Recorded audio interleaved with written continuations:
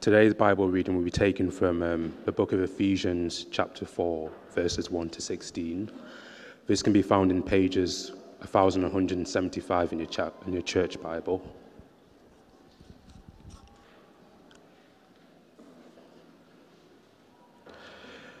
Unity and maturity in the body of Christ.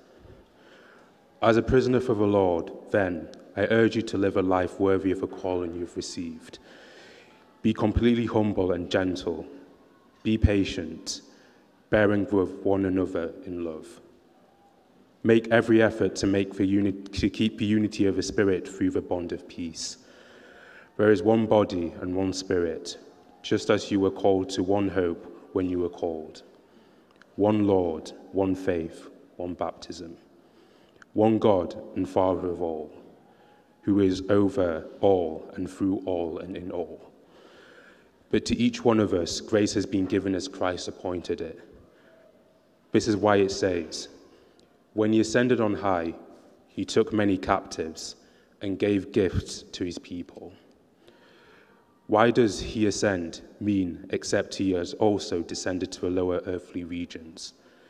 He who descended is the very one who ascended higher than all the heavens in order to fill the whole universe. So Christ himself gave the apostles, the prophet, the evangelists, the pastors, the teachers, to equip his people for works of service, so that the body of Christ will be built up until we reach unity in the faith and the knowledge of the Son of God and become mature, attaining to the whole measure of the fullness of Christ. Then we will no longer be infants, tossed back and forth by the waves, and blown here and there by every wind of teaching and the cunning and craftiness of people by their own deceitful scheming.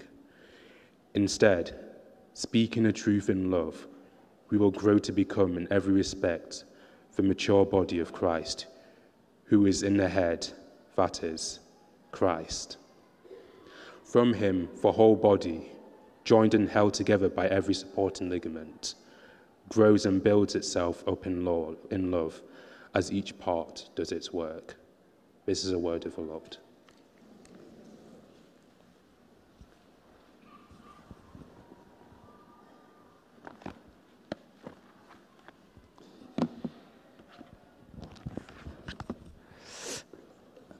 Afternoon, everybody. Uh, it's good to see you all. Um, uh, big welcome if you're joining us online as well. And if anyone's new and hasn't joined us before, then my name's Stuart and I'm the vicar here. And um, as you uh, kind of might already know, we are in the run up to our Commitment Sunday.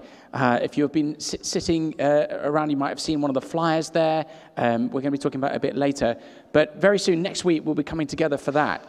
And um, in this run up, we've been sharing lots of vision uh, about where we feel God's calling us to and the things we feel God is calling us to do. If you haven't seen the Commitment Sunday video yet, please do go and watch that. It's both encouraging and informative in equal measure. But I always get a little bit nervous uh, when it comes to this topic of vision.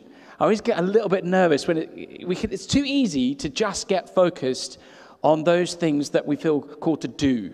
Uh, it's too easy to get excited about the kind of big projects and exciting things coming up. And today, before, in the run up to, to, to, that, I, I want to focus somewhere else because I think it is actually often it's just as important who we are than what we do. It's often more important how we do things, the character of our life together as a church, than it is what, what we end up doing together. And so today, I want to talk from one of my favorite passages, which is in Ephesians chapter 4. And it's just a fantastic passage which in which Paul lays out God's vision for his church. And these are the things that are true of a healthy church, no matter what stage of life it's in, no matter what it's called to. And I hope it will encourage and challenge us and help us as we run up to Commitment Sunday. So let's pray together before we dive in. Lord Jesus, we thank you for, um, as we'll see, this, this picture of your people we thank you that you died not only for each one of us, but for your church. Lord, as we enter this season of thinking about our corporate life together and um, what you've called us to as a church, we pray that you'd fill us with your spirit and you'd give us your eyes to see what you're calling us to be. Amen. So, in this passage, it's rich with things that we could take away. Um, but I guess the thing I want us to, to, to really take home today is the fact that we are called together as one body. And this might seem a really simple thing, but it's a really, really important thing to, for us to kind of register and to focus on. The first thing I want to uh, highlight in our passage. You know, it's it, one of the privileges that we have in the Western world that we often kind of take for granted is that uh, we have such easy access to the Bible in our language. Uh, actually, that wasn't true for much of church history. Um, for many, many hundreds of years, the Bible was just written in Latin, no matter what language you spoke. And there are still parts of the world where actually it's really hard to get hold of the scriptures in our own language. So we are super privileged to have God's word in English right here for us to read. But one of the small but important uh, challenges of reading the scriptures in English um, is this. In English, the word you and the word you sound very similar. By that I mean, actually, in, in the original languages, in, especially Greek uh, and in many other languages, the, the word you singular and the word you plural actually look different when you read them.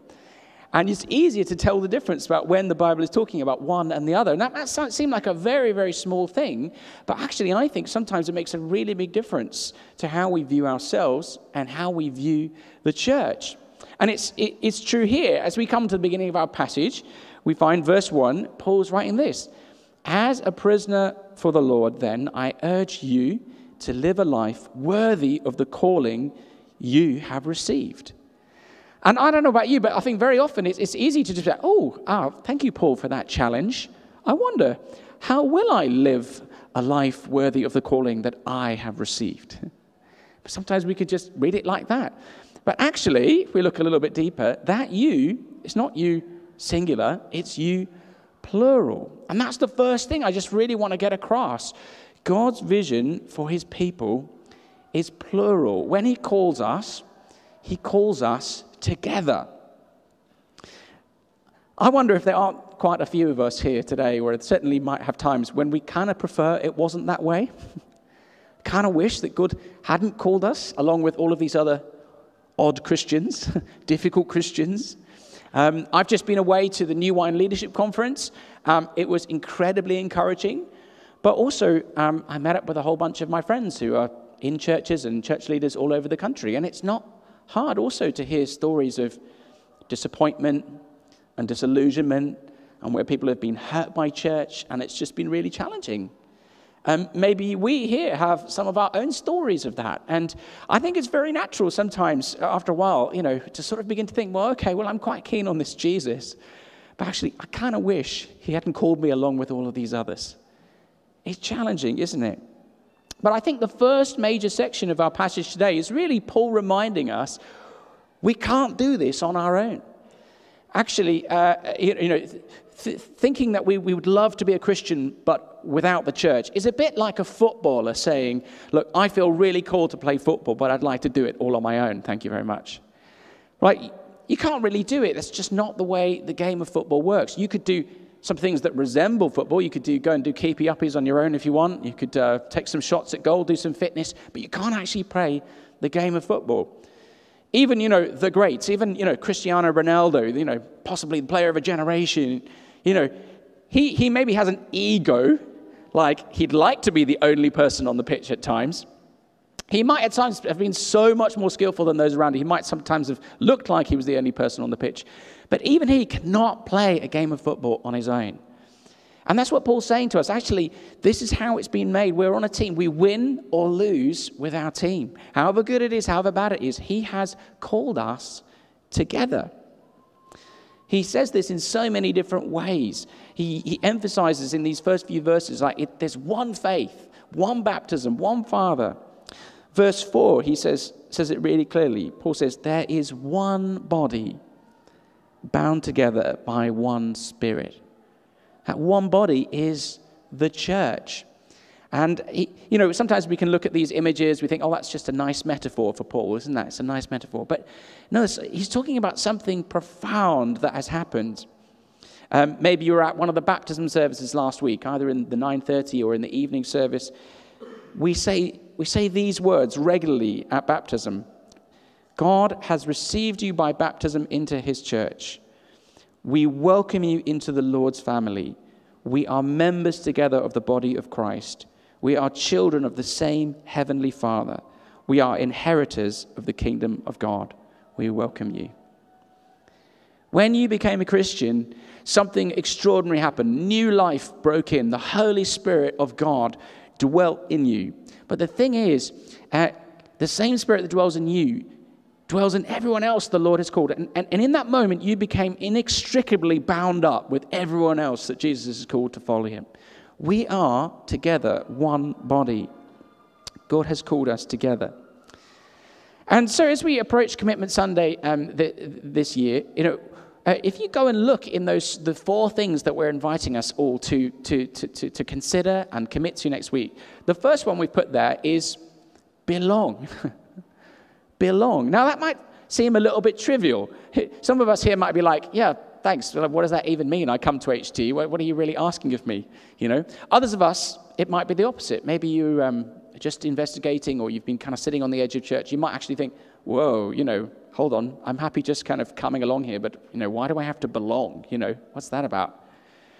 But I think what we're trying to flag here is that when Jesus looks at his church, he doesn't just want us to be a crowd.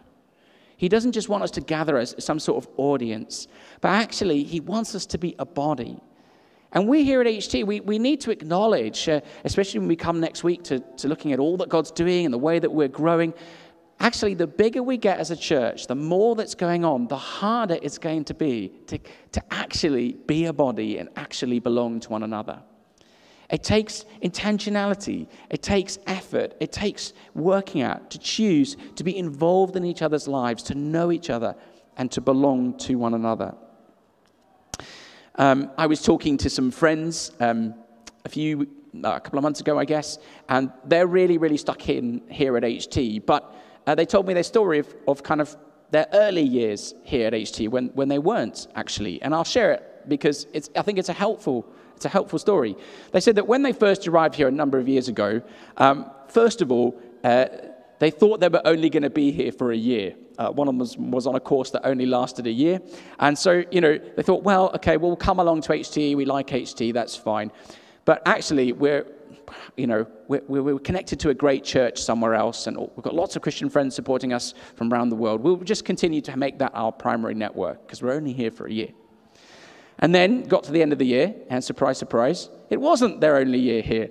And they ended up getting jobs here, and sort of like, oh, okay, all right, well, maybe we should put down roots. But then the pandemic hit. And it was suddenly, oh, it was so much harder to get to know people. And there was the option to join an online HT home group or whatever. But they thought, oh, well, we've still got all these great connections around and everything's online anyway. And, you know, so they were sort of coming along and being involved. But actually, and then suddenly it just rolled on and rolled on without realizing it a few years in before they sort of woke up and thought, hold on, we've been here for years. We come to HT, but we don't feel we belong at HT. And it was like so simple, but for them, they were t- telling me about this, this, this mentality shift where they're like, hold on, no, this is our family. This is the church that God has called us to. And so actually, we need to choose to belong. And for them, it was a, a, a, series of practical things, coming along to certain things, joining a home group here. But it was also a mentality shift to say, I'm not just going to come, I'm going to bring myself. I'm going to open up my life. I'm going to, I'm going to give myself to this community and make friends here at HT. And that's what I think Paul is highlighting in this passage. There's this truth. We are spiritually one body. We're bound together. But also it takes, it takes intentionality and effort. In verses 2 and 3, Paul gives us a series of things to do. He says, choose to be humble and gentle, choose to be patient and to bear with one another in love. And then you see just below that, he says, make every effort to maintain this unity that you've been brought into. That's, a, that's an interesting phrase, isn't it? Make every effort. It takes intentionality and effort to reflect this unity in reality. So I wonder, as we come up to Commitment Sunday, maybe you've just been here, I don't know, six months or something. This is a good time for you. But for many of us, we've been here for a long time. It's an opportunity to us to, for us to reflect what would it look like to choose to belong this coming year? It could be different things. If you're on the edge or you're new, maybe it's a really the most basic step is I'm going to sign up for emails. I'm going to start finding out more. I'm going to come to a Discover or something like that. But it might be a different thing. We, we talk a lot here at HT about small groups, joining a small group. Maybe you could join a home group, or if you're a student, you've been coming along, but you've not yet found your way to student night, um, choosing to commit to a small group. Now, I'll let you in on a little bit of secret. Small groups are not magic. They're not magic. I mean, sometimes we can imagine, you can get the impression like, you know, you join a small group and your life as a Christian will be perfect. You will turn up and you will instantly find the deepest, greatest friends of all time. And the Bible studies will be the most in depth, amazing, the zenith of discipleship ever. And it, prayer will be easy and it'll be fantastic and it'll solve all your problems. No, it's, it's not like that at all. And the reason is because you're there and I'm there. And we're just normal Christians bumping along. And you, but you know, it, it, it actually what you find is just, you know, people with problems. And opening up passages and going, oh, what does this mean? And how on earth does it apply? And then we pray for each other. And it, it, it, but actually, that's the point. That's the point, is that actually we're getting beyond that just kind of coming on a Sunday and into each other's lives. We're, we're meeting each other where we're at, and one person's going through a difficult time and someone else is supporting them. Then next week it's the other way around. But we, we're choosing to give ourselves. And another final thing, just in this section, I want to flag is the power of simple hospitality. Simple hospitality. Sometimes in a large church, it's easy to look around and think, I'm never going to know everybody. How can I possibly know everyone? Well, maybe that's true, but you'll be surprised how far you get if you start just getting to know somebody and welcoming somebody. And uh, I just want to put a little challenge out to you. You know, how about if each and every one of us here who considered HT to be their home decided to um, uh, have one person or one couple or one family that we didn't know around for lunch or dinner once a month. Just once a month. Uh, you know, or maybe even uh, even better idea. You, you could plan once a month. We're going to have someone we do know, and you know, maybe someone we like, um, along with someone we don't know yet. I mean, that's great because you know that even if the, the other, other person's a car crash, at least you've got one friend with you. That's great. But also, brilliant, they're meeting them. And you could think about who's good to meet. But if we all did that once a month, it wouldn't change the world in one month or even two months. Or th- but over time, you discover, wow, we are really beginning to become a family. But it takes time, it takes effort intentionally. I wonder, what would it look like for us to think, okay, the Lord has called us together? How can we belong in this next season? But that brings us to the next thing, because actually belonging on its own isn't the final destination. It isn't, isn't, isn't the whole point of, of church. And that might sound silly, um, but it is actually important to say, you know, just community on its own or inclusion on its own is, is a bit of a shallow uh, vision for what church is about. Because God's vision is deeper than that, it's bigger than that. It's that we would be included in the body of Christ, but then as that happens, we would grow as the body of Christ to look more and more like Jesus. We become part of, of the family so that we can grow. Healthy children grow and mature. That's just a fact of life. If, if children don't grow and mature, then there's something, there's something wrong. Um, I see this every day. Uh, my, my oldest, she's two, two years, three months, about this high, and she's just in that stage where she's beginning to learn to talk. And every day there is, she has a new phrase, and sometimes they're quite funny. So um, uh, she's taken recently, um, I have no idea where she's got this from, but she's taken recently, when she finishes a task, she dusts her hands together and says, bish, bash, bosh. I don't know where she got that from, it's quite funny. Um, And then uh, she's got a bit of sass to her. I ask her at the end of the day, How was your day? And she kind of looks up in the end. She says, Oh, yeah, pretty good. but yesterday, and I, literally yesterday, she came into, uh, I, I was in the kitchen. I was getting frustrated with something. I can't remember, but she heard me exclaim in frustration. And she came through the door, little two year old, and she says, You're okay, you're okay. Tell me what happened. and I could just hear myself. I was like, That's what I say. And it's so funny because because what's happening is she's growing every day. She looks less like a baby and scarily more like me. she's growing up, you know, and she's taking on our resemblance. Well, Paul says that this is true of, uh, of infants, we know that, but it also should be true of churches too. You know, we as a church, we're not the finished article. Far from it. Actually, God's vision for his church is that we grow increasingly in maturity and to resemble Christ. You see that picture in, uh, uh, you can look down in verse 14 and beyond. He, Paul takes that picture of a body, he's just already talked about as a body, and then he, he talks about beginning as an infant and then growing in maturity so that we grow into the fullness of Christ. Now, I think many of us, again, we're used to this idea of growing into the image of God, don't we? You know, you know, as I follow Jesus, he's making me look more like him. Amazing passage into 2 Corinthians. As we, you know, reflect on God's glory, grow, grow close to him, he's remaking us into the image of God. And we love that. We love that. Oh, how's God remaking me into the image of God? But sometimes we forget that he's not just doing this on the individual level, he's doing this for us corporately as a church. That when God looks at this, he looks at it, he doesn't just see a series of individuals, he wants his whole church to grow and look more like him. Irenaeus, uh, one of the theologians of the first, uh, uh, early church, um, famously said, The glory of God is a human being fully alive. The glory of God is a human being fully alive. I think Paul might have, might have added, he might have said, Yes, and the glory of God is the community of God's people fully alive. The glory of God is the church fully alive. We are the body of Christ. And, and, and, and together we're meant, meant to reflect this glory of God. A passage that's really important for us here at HT is the end of Acts chapter 2. You know, Pentecost happens, the Spirit pours out, and then at the end of Acts chapter 2, it describes the first ever church community. And at the end of that, it tells us that people were being added to their number daily. Every single day, someone was becoming a Christian and joining and joining the church. And it's, it's, it's a great question to ask well, why was that happening? Well, I'm sure it was because they were telling people about Jesus. I'm sure we're told that was true.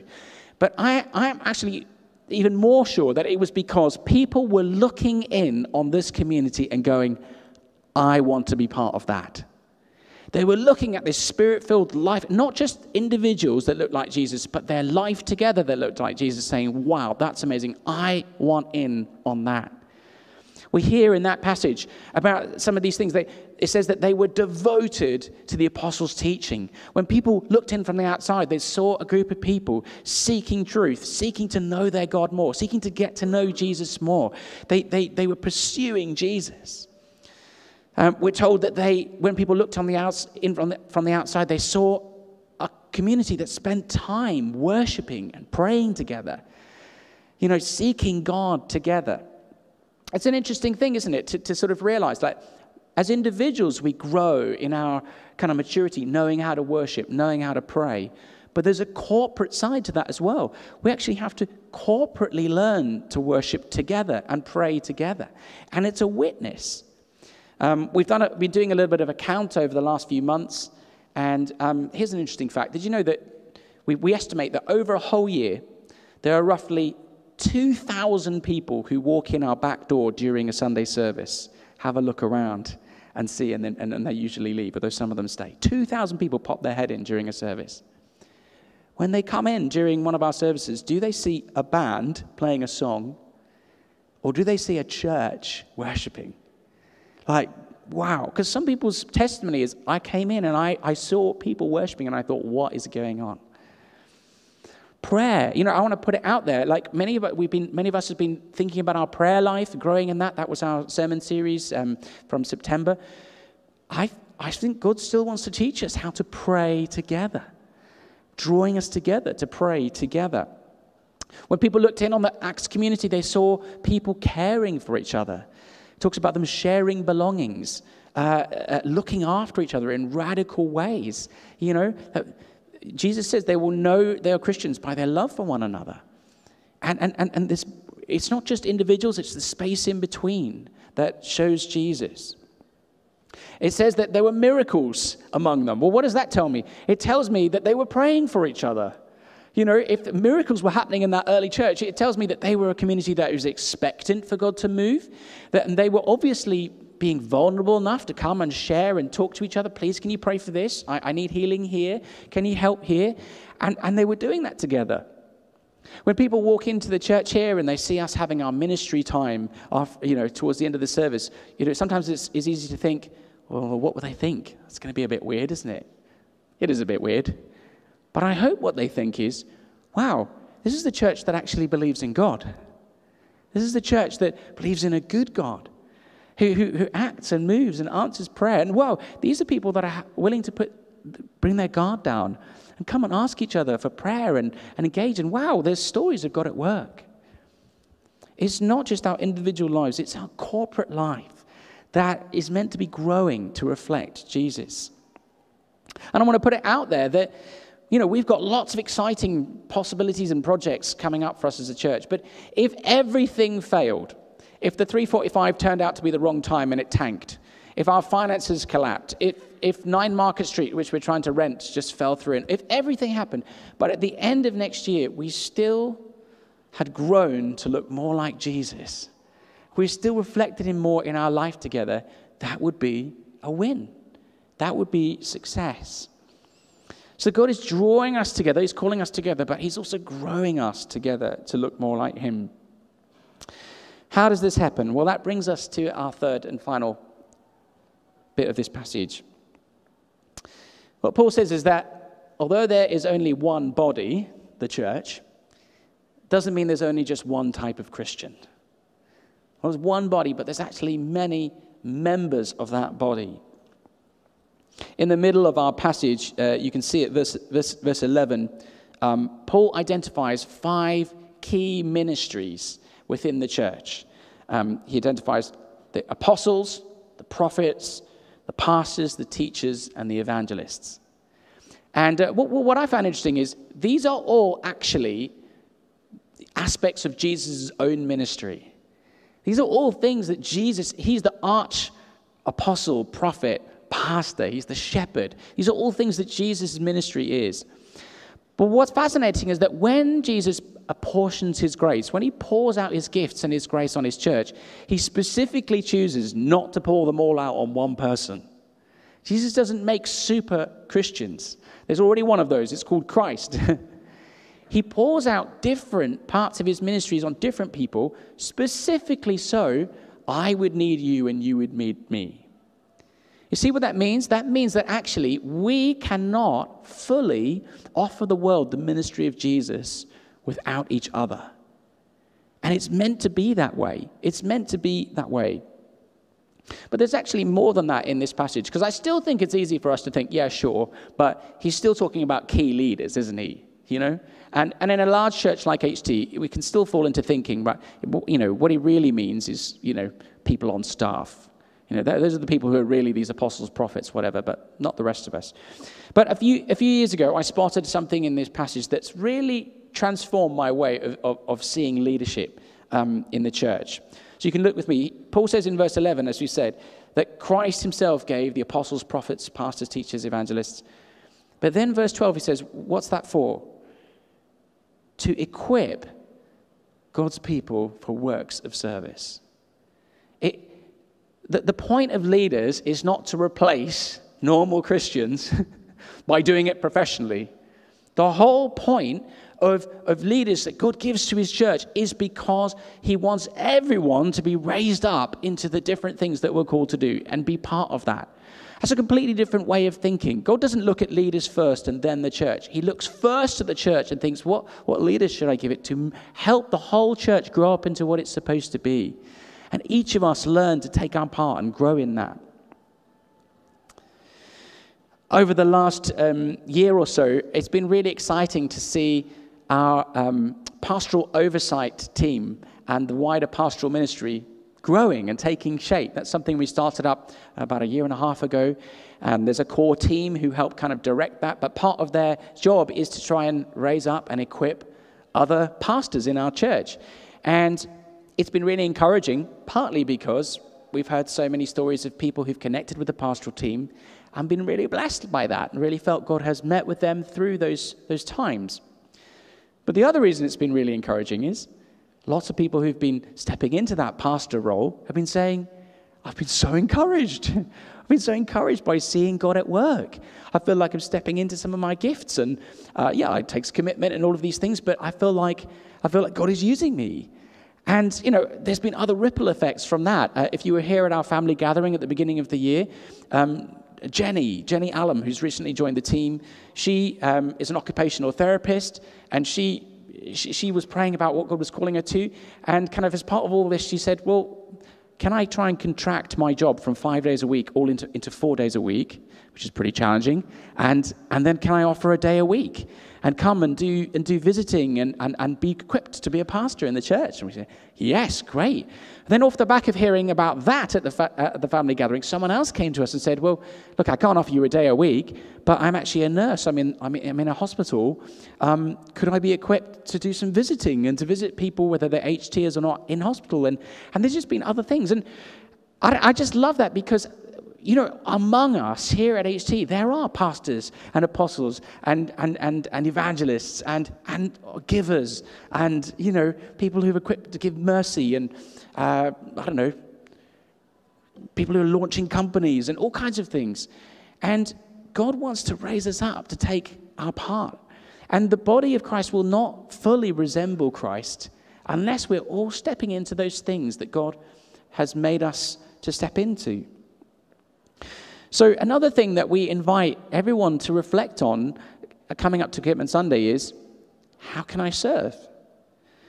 And one way to look at that is kind of, you know, okay, well, of course they want volunteers. You know, they've got lots of things to do. You know, please join a team. You know, fine. Well, okay. But I think more exciting is, is, is, is to think about it this way. You know, we're so good at asking, how is the church helping me look more like Jesus? But we should be adding this other question how has God made me to help the church look more like Jesus? And those are two good questions to ask alongside each other. And that's the question really we're offering. And sometimes it, it, doesn't look like serving more. Sometimes we're already really serving. But it's still a really good time every year at Commitment Sunday to sit down and think, okay, what are you calling me to this year? What, what, what is it that my time or my gifts, or sometimes it's about me and my gifts, sometimes it's just looking at the church around me and saying, okay, where are the needs? I don't know, maybe you're already a home group leader or a student group leader and you're like, Lord, do you want me to do that again? And hopefully the answer is yes. But it's still even choosing to recommit to that, make that an actual recommitment. Um, you can have a look in the Commitment Sunday uh, flyers. There's loads of teams that you could join. Um, we're currently particularly uh, trying to uh, reboot and reskill our tech and our live stream team. Uh, if you're part of that, thank you. But others, we'd love to train you if you want to join that team. But also, it doesn't have to be one of those official teams either. We've got people who volunteer to help us with our gift aid, do our finances. Uh, we've got photographers who help Julia take pictures at events. We've got some of our artists who come and decorate the church Christmas. Um, it's looking around and asking, how can I use what God has given me? Or how can I grow in what God has given me? Because God has made us together. Uh, just off one little flag as well. Uh, we are looking for some people to go and help Christ the Redeemer Church. They're running, uh, one of our partner churches, they're running a uh, holiday camp for kids, many of whom don't know Jesus, in the summer. And uh, last year, a couple of HTs Tears joined them, and they were really blessed by that. This year, they're looking for a whole team from HT to go and join them. If you'd love to give a few days or a week in the summer, would love to come and speak to me or one of the team, would love to bless. Could be a really good thing, really exciting thing to be part of. So as we as we come to a close, you know, just want to remind us that it's so easy to get stuck thinking about ourselves. But God has a bigger picture, a bigger vision for us. He has called us together. We win or lose with the team. And He's called us so that we can grow to look more like Him, that our life together would reflect Jesus, that people wouldn't just see, us, see, see it in, in what we say, but in our life together. And that happens as we commit, recommit to belonging together and to serving each other. So, how might God be calling you to join this year? Let me finish by praying for us.